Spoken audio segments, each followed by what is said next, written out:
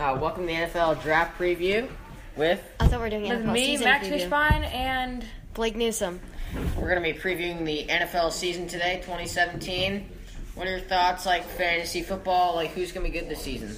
Dak Prescott is going to have another breakout season. Nobody really expected that much out of him last season. They expected another boring Tony Romo, uh, sucking in November as usual.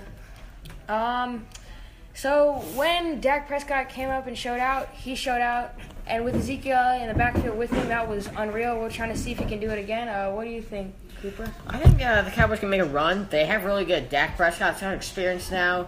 They have Ezekiel Elliott, their offensive line. I mean, maybe Ezekiel Elliott might get suspended for what he's done, but their offensive line is solid enough. They The bar have incident.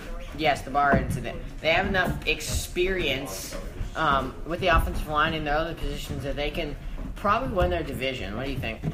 I definitely think to not to not sleep on the Cowboys. I mean, last year they showed out with two rookies. Um, Dak Prescott was drafted, I believe, in the later rounds, and he was a good, he was a pretty good quarterback at Mississippi State, but average for the SEC West. He came in and showed out really nice for the Cowboys.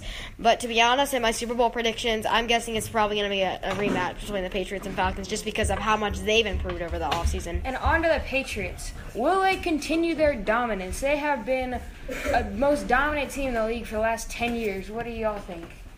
Tom Brady's getting kind of old. Uh, that's just to say the least.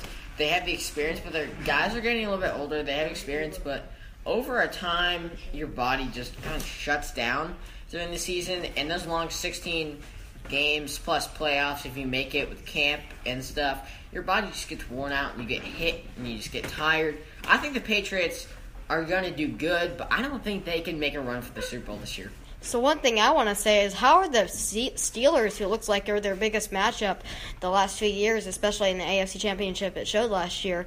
How do you think the uh, what do you think the Steelers need to do to be able to get over the hump and be able to compete with the Patriots? Sign Patriots? Le'Veon Bell to a longer deal. They need him. He's They- a running back. The problem with that was released this morning. The problem with his contract was they missed the deadline, and so he gets signed for twelve million dollars this year. But then he's a free agent, so he basically has room to go anywhere he wants to next year. That's yeah, they problem. need to they need to play well because if they don't play well, he'll be gone. If they if they play well and possibly make the playoffs, at least a wild card, maybe even a division win, that would motivate to come back, come back for some money, like maybe a little bit less to get other players. But they need him. They they need to show him that the team can bond and be a strong playoff contender so he can come back. Now to the NFC.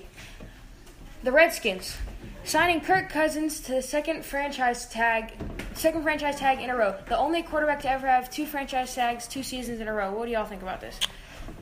To be honest, I'd never heard. I'd never. I heard that he was franchise tag last year, but second year for the Reds. I mean, Kirk Cousins. He said earlier this season he wanted out of there, and especially he made one playoff run with the Redskins, got knocked out in the first round against the Packers, but he's never really showed up, and he's playing in a harder division now. It seems like with the Cowboys, Eli Manning's still in that division, who has two rings. I mean, it's it's gonna be harder for Kirk Cousins.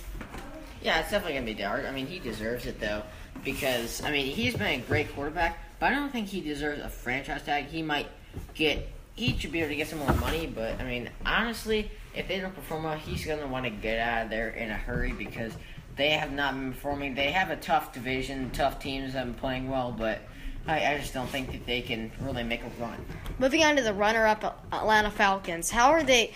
They signed Dontari Poe, who said it was a great fit for Atlanta. They drafted another two, a linebacker and a defensive end of Takk McKinley and Duke Riley, and then they're still thinking of bringing back veteran uh, Dwight Freeney for another year. They're still that's still in the process, but who knows? Now Do you go- think this team will be just as good as last Going year? to Duke Riley, he came out of LSU. He was a monster at LSU. He was quiet because he got shut down by Kendall Beckwith, who was a middle linebacker. He was much. He, Kendall Beckwith was the slammer, and then uh, Duke Riley was the one who came around the outside and hit the running backs. But the big thing about him is he's quick and he's fast, and that per- fits in perfectly with the Falcons' fast defense.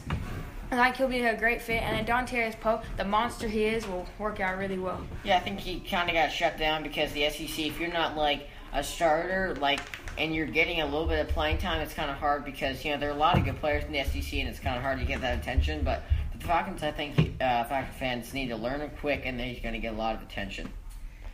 Can I do my podcast outro? Thank you guys for listening to Atlanta Teen Sports Center. All right, give me your names one more time, real quick.